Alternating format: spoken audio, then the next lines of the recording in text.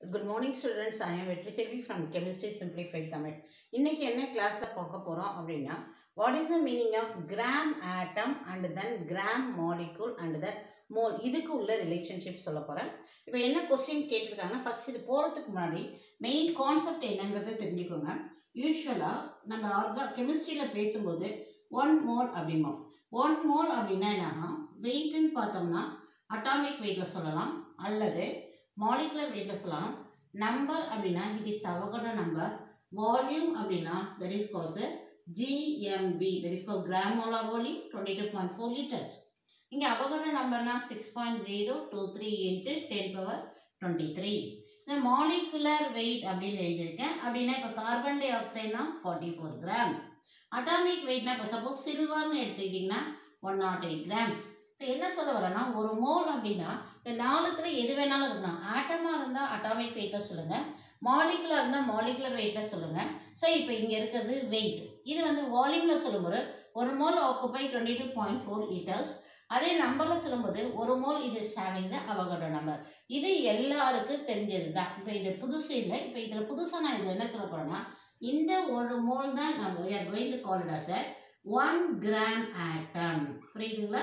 That is கால் இந்த ஒரு மோலுக்கு நீ ஆட்டம்னு சொன்னீங்கன்னா that is call a one gram atom இதுவே நீ மாலிகூல்னு சொல்லினா same one mole you can call as a one gram molecule அப்போ என்னது?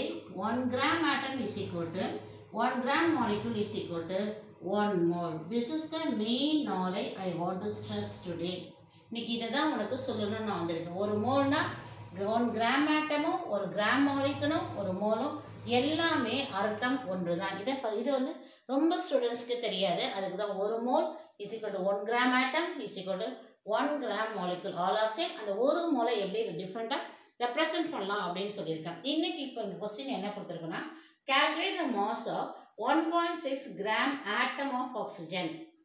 அப்போ இங்கே வந்து பாருங்க அட்டாமிக் மாஸ் ஆஃப் ஆக்சிஜன் வந்து சிக்ஸ்டீன் அப்போ ஆக்சிஜன் சிக்ஸ்டீன் இருந்ததுன்னா that is calls one gram atom ஒரு கிராம் ஆட்டம் ஆக்சிஜன் சிக்ஸ்டீன் அப்படின்னா one point six that we have to calculate அதே மாதிரி five point six gram atom of sulphur அதோடைய mass அதே மாதிரி two point four gram atom of iodine this is atomic mass of oxygen sulphur and iodine is are the and answer is available here இப்போ let us do the sum. இது எப்படி நம்ம work பண்ண போகிறோம் இது வித்தியாசமானது எதுனா calculate the mass of gram atom.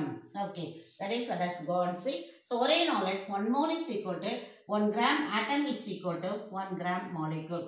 Atom வந்து கிராம் ஆட்டம்னு சொல்ல போறோம் மாலிகுலர் இருந்தா ஒரு கிராம் மாலிகுல்னு சொல்லணும். அவ்வளோதான் வித்தியாசம். வேறு ஒன்றுமே கிடையாது.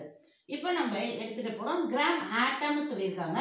இப்போ அனைத்துமே you take it as what is it called as atom இப்போ நம்ம ஆக்சிஜன் இந்த ஃபர்ஸ்ட் கொஸ்டின் போகிறோம் calculate the mass of mass of one point six gram atom of அவங்க கொடுத்துருக்கிறது பாருங்க கிராம் ஆட்டம் ஆஃப் ஆக்சிஜன் இதுதான் கொடுக்கப்பட்டிருக்கு.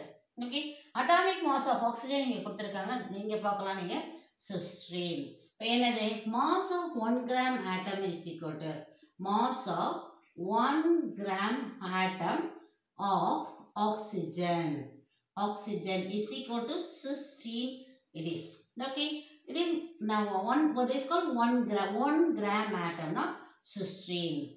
Okay, then you can express in grams also. Gram atomic mass. If 1.6 now, therefore 1.6 gram atom is equal to okay one cysteine into 1.6. Okay, cysteine cysteines are 256. This is so. This is your answer. What is it? Calculate the mass of 1.6 gram atom of oxygen இதுதான் சொல்கிறோம் so அப்போ ஒரு atomic mass of oxygen சிக்ஸ்டிங்கிறது தான் எடுத்துக்கிட்டால் எடுத்துக்கிட்டு அதை one point six multiply பண்ணால் உங்களுடைய ஆன்சர் இருக்கு this is okay now let us go to the same thing. Mass of 1 gram. This is இவர் mass of 1.6 கேட்டிருந்தாங்க. இப்போ அதே மாதிரி என்ன கேட்டிருக்காங்கன்னா ஃபைவ் பாயிண்ட் சிக்ஸ் வந்து ஆட்டம்ஸ் ஆஃப் சல்ஃபர் இப்போ ஸ்டெப் ஒன்று தான் நம்ம டக்குன்னு ஸ்ட்ரெயிட்டாக போயிடலாம். Okay question that is question number two What is the weight of sulfur? 32. Into how much it is? 5.6.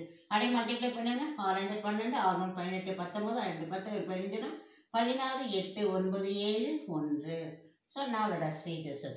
You can see the answer. பன்னிரெண்டு இங்கே mistake. Okay. Now here. What is the answer is 179.2 gram. This is correct.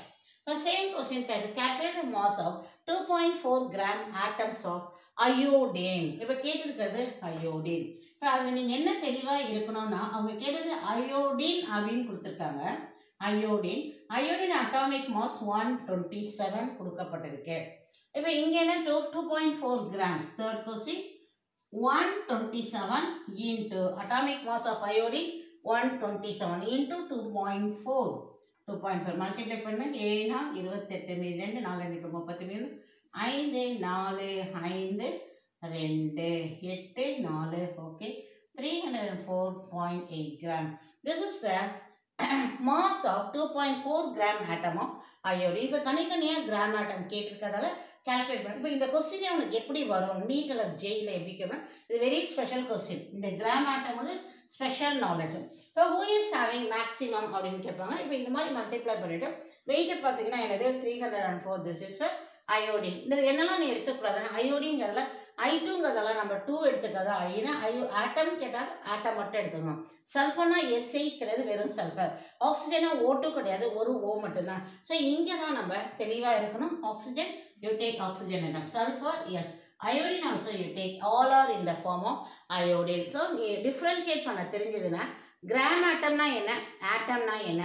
That is call ஒரு mole equal to one gram atom equal to ஒரு molecule ஆட்டமாக இருந்தால் gram ஆட்டமில் சொல்ல போகிறீங்க மாலிகுலாக இருந்தால் gram மாலிக்கல்னு சொல்ல போகிறோம் தேங்க்யூ சில்ட்ரன்